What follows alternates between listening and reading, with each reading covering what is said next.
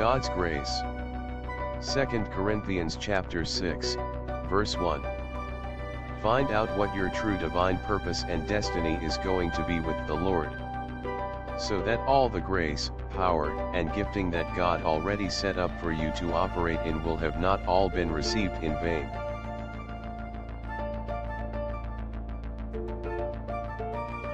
The Ministry of Reconciliation Ministry for all.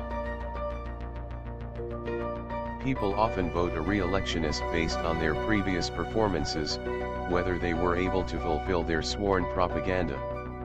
If they even went beyond by progressively accomplished more than what they promised, that is a big point. Likewise, Christians are also expected to develop good qualities befitting their new status progressively.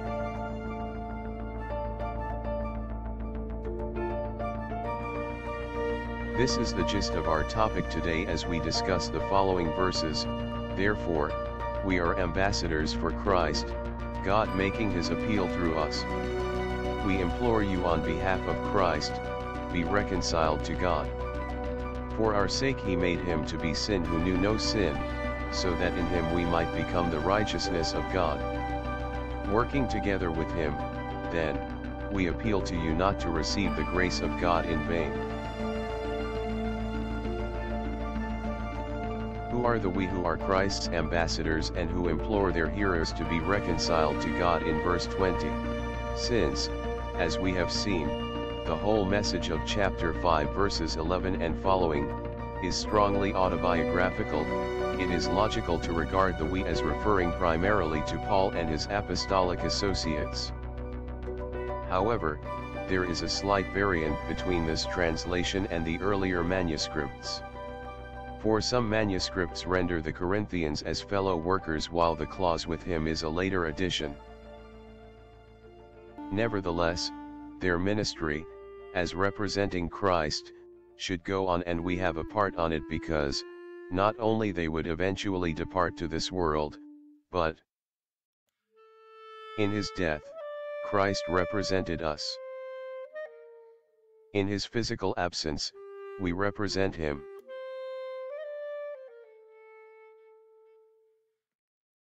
Listen to the proper preaching of this passage as our brother Joel from Sovereign Grace Community will share us. Go ahead, bro. na paggawa, sincere call for believers to reconcile to God. Ipinahayag ni Apostol Pablo, inilabas niya ang kanyang damdamin kung papaano ang kanyang pagministeryo. Eh, Ito, sa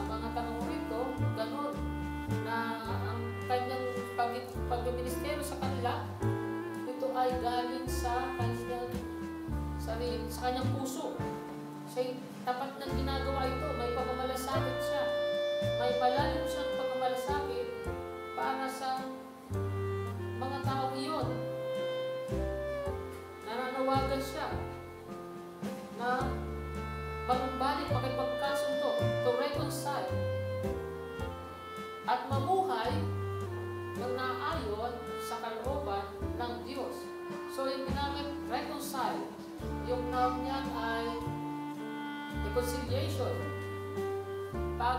Pag sinabing reconciliation, sabi rito, it is defined as the restoration of friendly relations.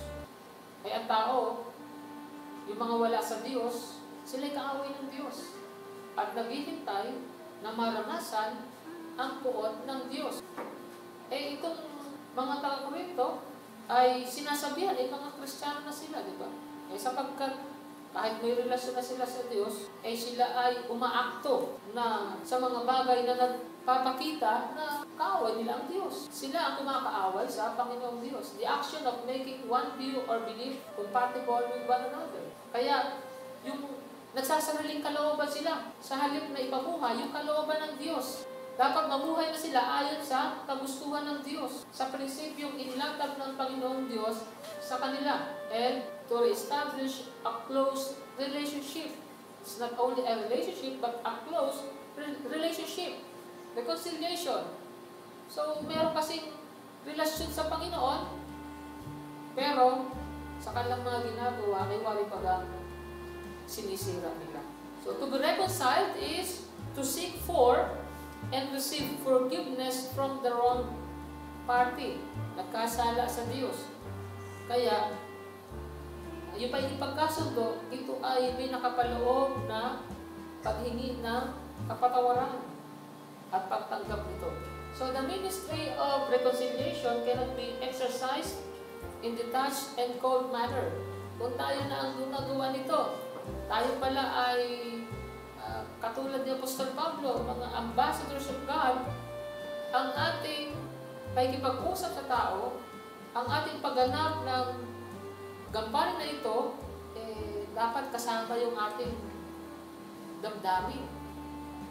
Hindi tayo parang detached, na parang wala lang, ginagawa lang dahil duty or wal, uh, walang init, ika nga.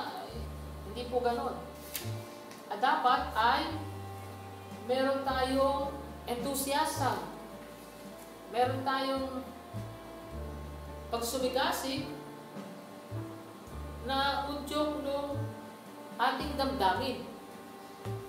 So, kaya yung ginamit ni Paul dyan, yung language na ginamit niya, eh, napaka-emotional po nun.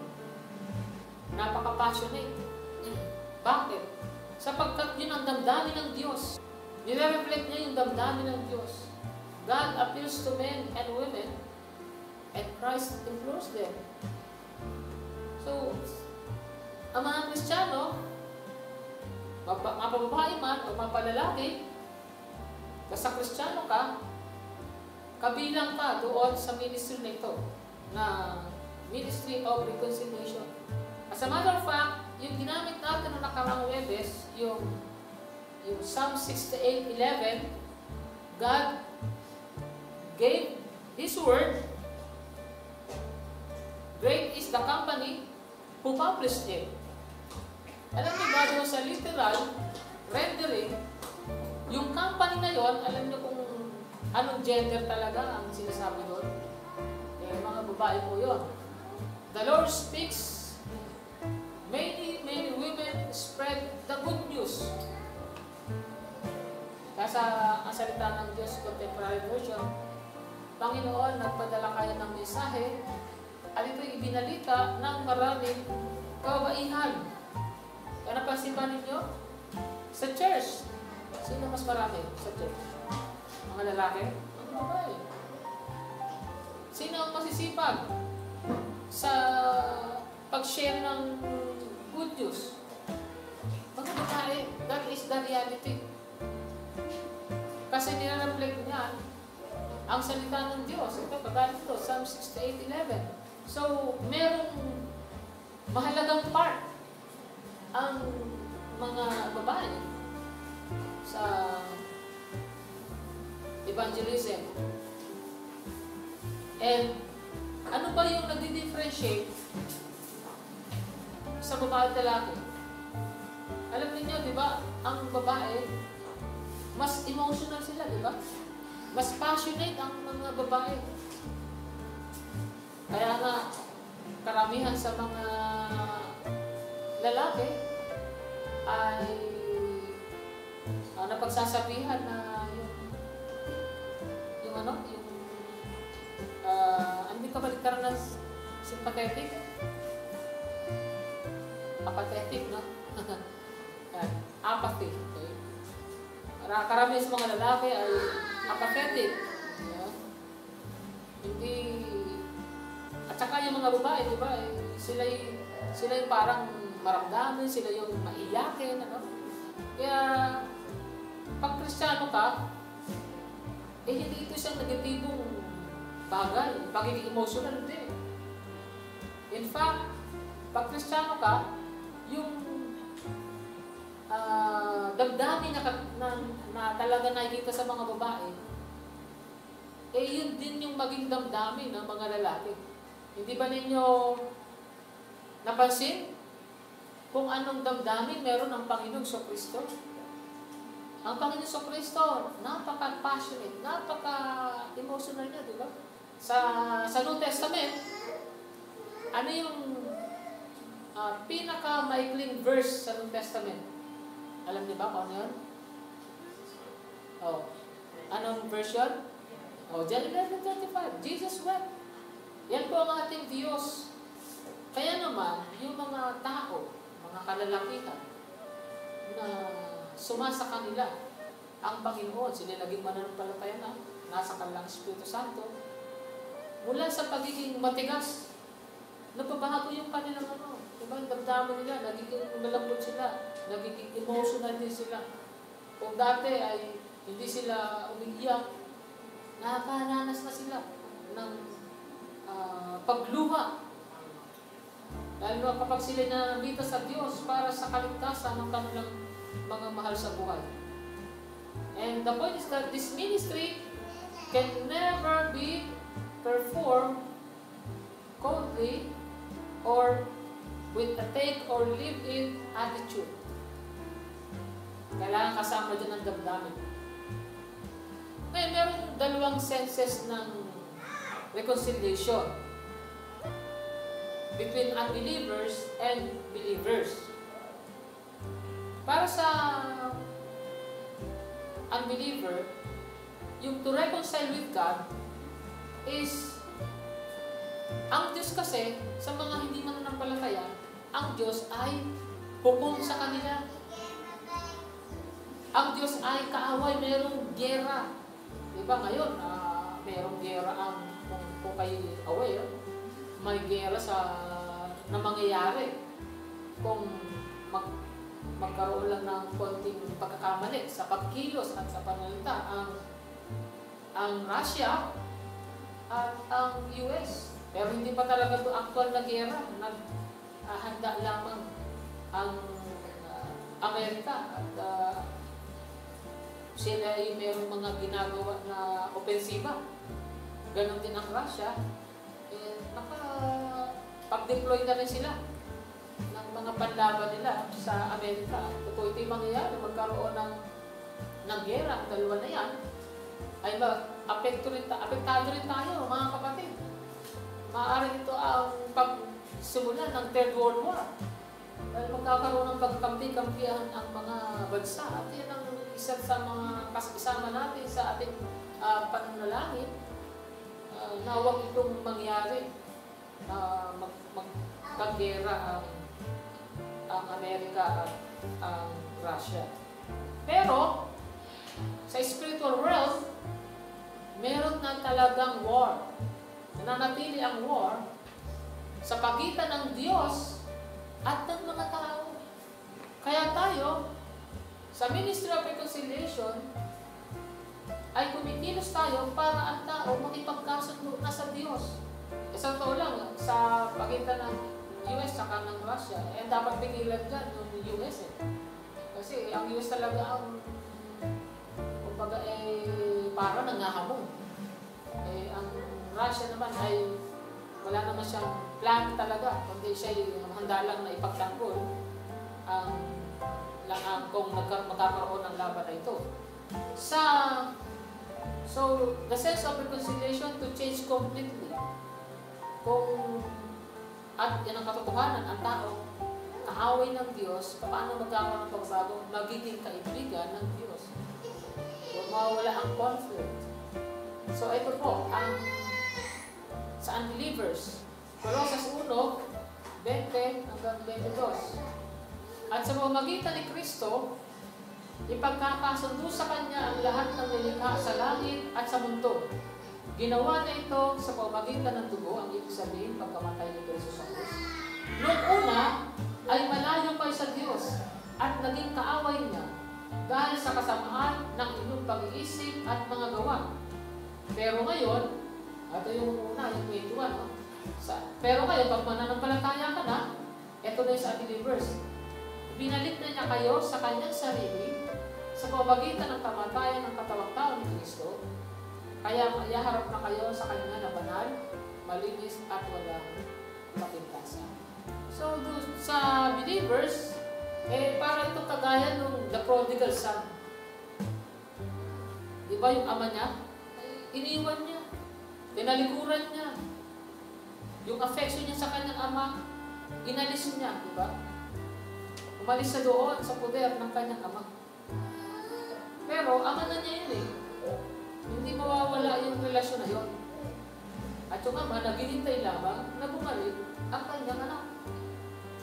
At yun yung sinasabi ni Apostol Pablo sa mga Corinthians, para silang prodigal son. Yun yung reconciliation na kanyang, ina, kanyang ini-implore sa kanila. So, for believers, it is a familial reconciliation. Ibig sabihin, that of a father to a child. Kaya, ang mga mananampalataya ay dapat ak- ak- aktibo, no? Uh, responsive sila na pumasok sa relationship of reconciliation with God. To be reconciled to God, ito ay nangangailangan na ang isang tao ay siya ay humingi ng pagpapatawad ng Diyos na pinrovide na yan sa pamagitan ng kamatayan ng kanyang anak. And God will surely forgive at wala namang duda dyan. But we must ask. Lumapit tayo, manalangin, at ganun din ang sabihin natin sa tao na kausapin natin. And this means humbly acknowledging our need for forgiveness by God. Kaya nga sa John 1.9, If we confess our sins, He is faithful and just to forgive us our sins and to cleanse us from all unrighteousness. Gaano man ang kabigat ng kasalanan mo, eh, pagkatawarin din ng Panginoon. Actually, ang sinasabihan dito ni John, mga mananampalataya na. Sinasabihan niya mga mananampalataya, we confess our sins. Sabi kasi ang mga mananampalataya, mga Krisyano na, dahil nasa laman pa, patuloy sila nagkakasala. Pero, dapat makipagkasundo sa Diyos. That's why, tayo, pag nanalangin tayo, humingi tayo ng pagpatawad ng Diyos. And that is reconciliation. Hintay ng Panginoon. Eh, ganun din. Sa mga hindi mananampalataya. They must repent of their sins, ask the Father for forgiveness. At sapagkat ang Diyos mismo ang manawagan sa kanila. So, the question is, how does sincerity is exemplified on the part of the workers? O tayo, workers tayo in the opinion of the Lord. Paano natin ipapakita na meron talaga tayong sinseridad sa nakasama talaga yung puso natin? Ang sagot is, doing within the church capability that believers grow in the Word and the grace of God.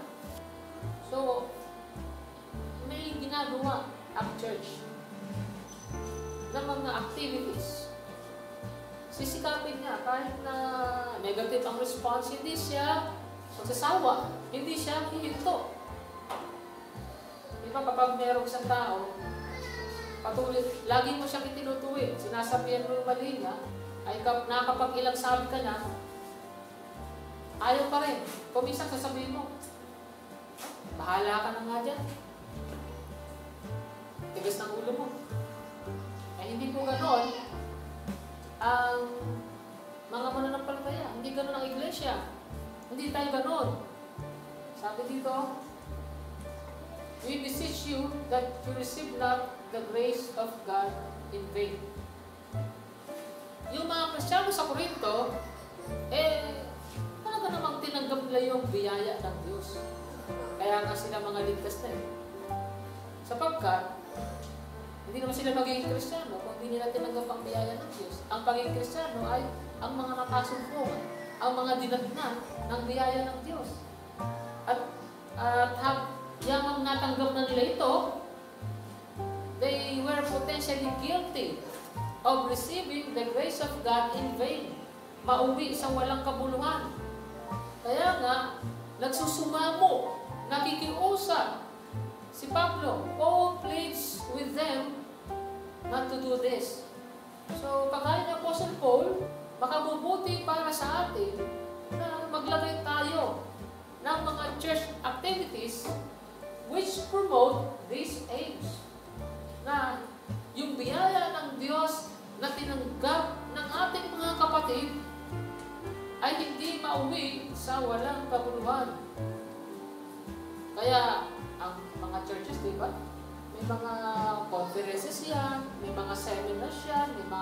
Camps na ginagawa.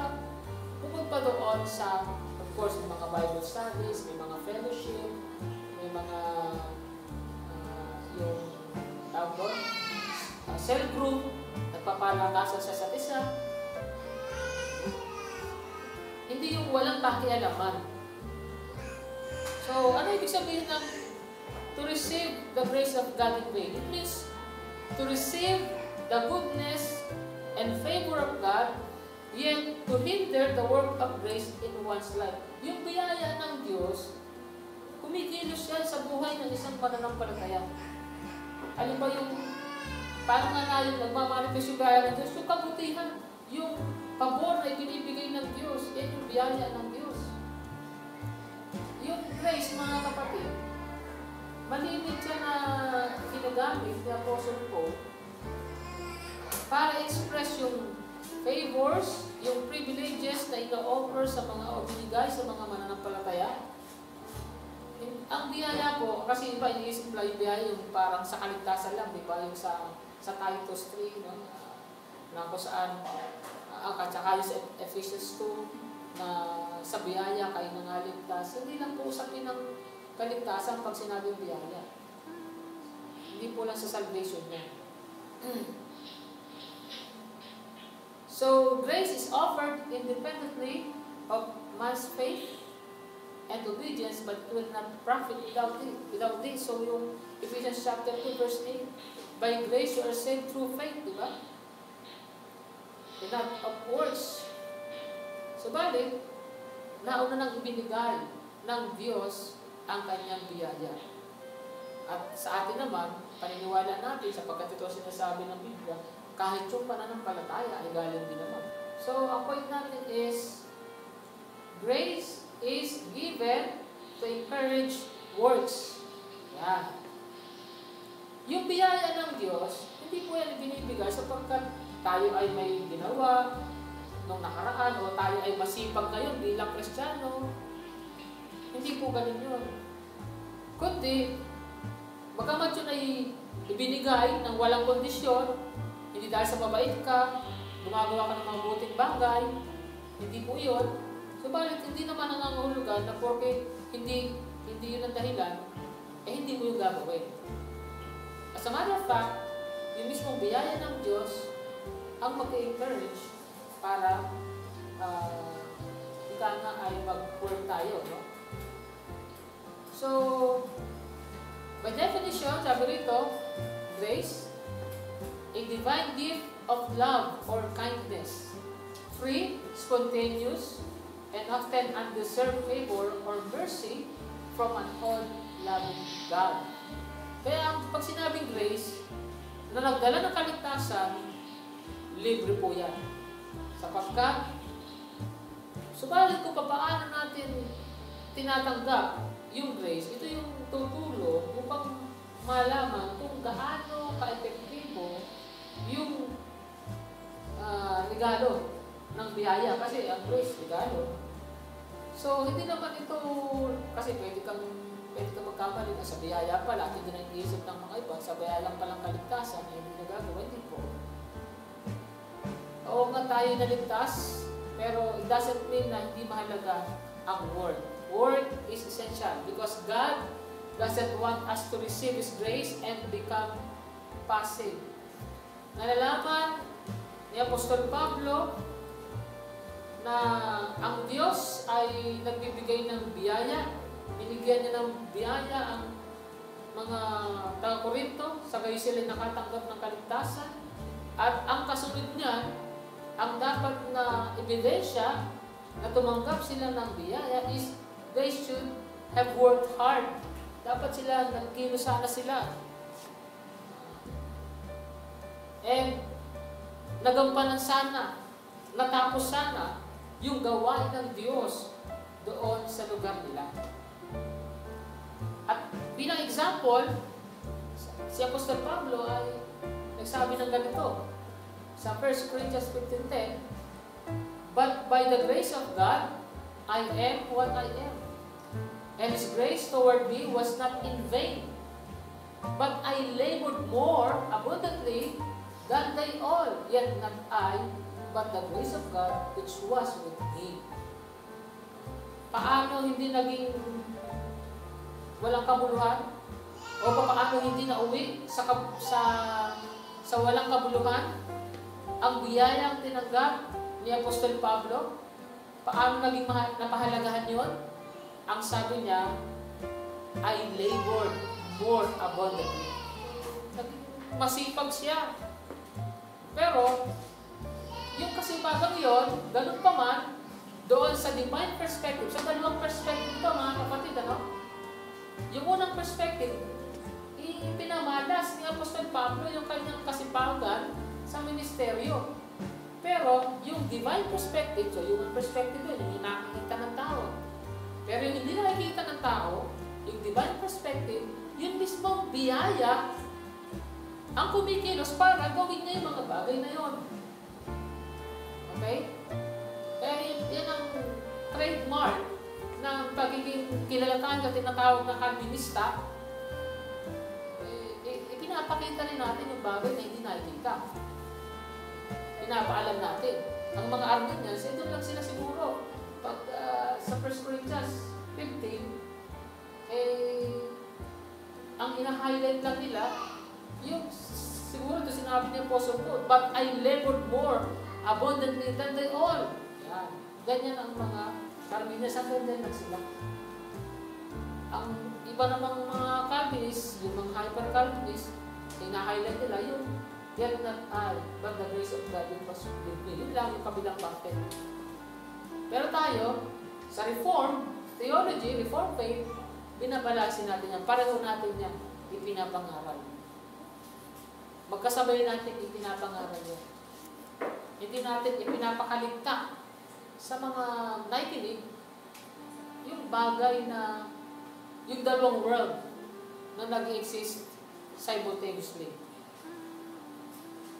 Kaya nga, bilang paalala, ito sinabi ni Apostol Pablo sa 1, 5 hanggang 8, sabi niya, dahil dito, pagsikapan ninyong maidagdag sa pananampalataya nyo ang kabutihang asal. Sa kabutihang asal, ang kaalaman. Sa kaalaman, ang pagpipigil sa sarili. Sa pagpipigil sa sarili, ang pagtitiis. Sa pagtitiis, ang kabanalan. Sa kabanalan, ang pag-ibig sa mga kapatid kay Kristo. At sa pag-ibig sa mga kapatid kay Kristo, ang pag-ibig sa lahat. Sapagkat, kung ang mga katangiang ito ay nasa inyo at lumalago, nagiging makabuluhan at kapakipakinabang ang pagkakakilala ninyo sa ating Panginoong Heso Kristo. So, pansinin natin na mayroong paglago, lumalago, yung mga katangian nito. Eh kung wala ka nito, wala rin lalago, di ba? Hanggang pananampalataya ka lang. Kaya ang tinuturo nito is to grow in the grace. At nawa mag-manifest ito. Ito mga magandang katangian na ito sa atin. Yung, dito lang nagkamali si ano, no, si, ang pangalan ito, si Soriano, siya, siya yung marinig na marinig na kumukontra sa araw ng Baptist. Ang sabi niya, ang kaligtasan daw ay hindi pa naman pala tayo alam. Kasi babasahin ito. Kasi sabi ni Pablo, idagdag ninyo sa inyong pananampalataya. Pero doon siya nagkamali sa pagsalitang dagdag. At saka ikalawa, yung sinasabi sa Ephesians chapter 2,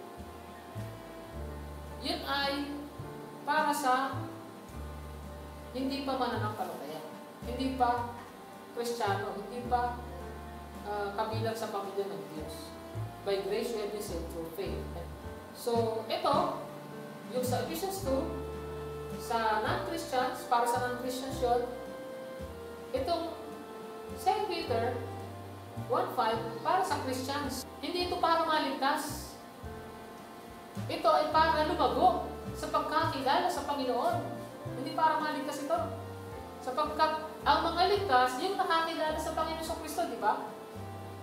O, kapag hindi mo kilala ang Panginoon, hindi ka ligtas. So, pag sinabi ligtas ka na, ibig sabihin, nakakilala ka na sa Panginoon. And sabi ni, ni Peter, from there, you should progress. Sabi nito, the word to out really means to supply generously. In other words, we develop one quality as we exercise another quality. Hindi yung parang ginagawa mo na hagdan. Pagkatapos nito, ito naman. O, ano ba, kunwari, pananampalataya. O, susunod mo gagawin, kabuti ang asal. Susunod mo gagawin, kaalaman. Hindi mo ba rin may sabihin? Pagkaman sabi niya, idagdag sa ganito. Sabihin lang, nagkakalakit-lakit. Merong, merong chain. Sabihin, yung bawat gawa mo, hindi hiwalay, doon sa iba mong mga virtues, kasi virtues ang tawag dito, di ba? Itong mga virtues na ito, ito gawain din ito, yung, sabihin natin, pag-ibig sa lahat, o pag-ibig sa kapatid, hindi ito hiwalay sa kaalaman. Ay sabi ng iba, mag-ibigan lang tayo, let us love one another. Bagamat din naman kaya gawin talaga yun. Ano? Uh, us love one another. Huwag natin pag-usapan yung mga araw na yan. Huwag na tayo magpakalalim dyan. Sa mga pastor lang yan, sa mga uh, theologians lang yan. So hindi po gano'n. Naka-angkla ang bawat isa. Yung, yung tinatawag natin orthodoxy, nakasama yan sa orthopraxy. Yung orthodoxy, ibig sabihin, right doctrine. Orthopraxy, right application, or practical way of life. Magka, kumbaga sa isang salita ay mag-asawa po yan. So to attain salvation is by grace through faith alone. But to grow in the grace of that salvation, we add up virtues gaya ng mga sinasabi dyan ni Peter. And yet, on the divine side, or on the divine perspective, this is the fruit of the Spirit. So, hindi tayo. Kundi kumikilos ang Espiritu. Nasa yung Espiritu, nagkakaroon ng bunga. But the fruit of the Spirit is love, joy, peace, patience, kindness, goodness, faithfulness, gentleness, and self-control. Makita ninyo? Kaya huwag mong iwan, tanggapin mo pareho. Kumikilos ka, sabi ni Apostol Peter, ikaw gumawa eh. Idagdag nyo. Uh, supply generously. Sa inyong pananampalataya niya, pagdating sa Galatians 5, eh bungay ng Espiritu. Pag sinayang bunga, hindi galing sa'yo. Bumabalong talaga. O pareho tanggapin. Ay, yung iba, eh, yung isa lang, pag parang, pag simple contradiction, eh, mamimili lang sila. Hindi po ganun. Kaya, sabi nga doon sa Psalms, oh, Jeremiah muna, sabi sa Jeremiah, 17.8, eh, mananampalataya sa Diyos will be like a tree planted by uh, the side of the water or the water sides or by the brook of the river. Sabi sa Psalms 1, sinasabi niya. Kaya po, hindi po tayo, hindi tayo sa let go and let God. Hindi po lang tayo dyan. Hindi naman natin pinapamalian yan. Let go and let God. Kasi nasa Bible din yan. Pero, hindi po yan lang ang katotohanan.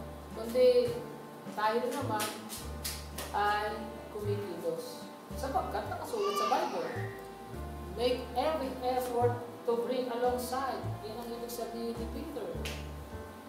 And so, it means it is a, it is a synergistic act.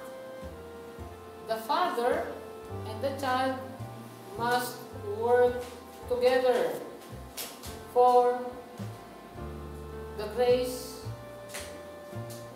to be manifested in each one of us na binavalue natin ito. Sabi nga sa isang prinsipyo, at ito nakikita natin sa nature, when there's life, there's growth. Di ba tumanggap tayo ng eternal life? Kaya dapat may paglago. Sabi sa Ephesians 2, dahil tayo mga patay, dahil na napag-aral natin no, binuhay na tayo. So, nung buhay ka na, sabihin, patunay na buhay ka, lumalago ka. Kagaya ng yung, alam niyo yung binhi. Di ba? Pag natuloy yan, parang patay na, di ba? Pero, pero mula doon sa has na yan, lalabas talaga yung germ.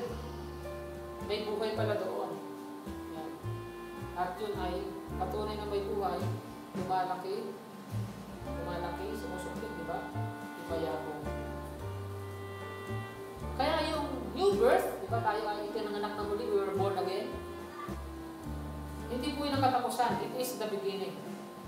Binibigyan ng Diyos ang kanyang mga anak ng kanilang mga pangailangan upang mamuhay ng makadiyos na paumuhay. At yung kanyang mga anak ay dapat naman i-apply ang mga ito at maging masipag na gamitin yung mga means of grace na uh, pinoprovide ng Panginoon. So, paano ba nagmamanifest yung means of grace? Maraming mga gawa na pwede magawa at yan ay may mga kategorya. Works of mercy, may mga benevolence, works of piety, yung mga gawa ng kabanata. Acts of worship, kagaya ng ginagawa natin, sumasamba tayo sa Panginoon. Acts of devotion. So, may mga tayo, may quiet time tayo, mayroong book devotions, di ba? At yan ay nahagod sa dalawang kategorya, may personal, may public. Acts of compassion. Yan, yan ang mga kategorya na kung saan kahit ikaw, mas masusukat mo or makikita mo sa sarili mo. Ako ba ay yung biyaya bang tinanggap ko sa Panginoon Diyos ay naging makabuluhan ba sa aming buhay? Kasi alam natin, spiritual growth is not automatic. Hindi naman tayo minamadali, di ba? Pero it requires cooperation with God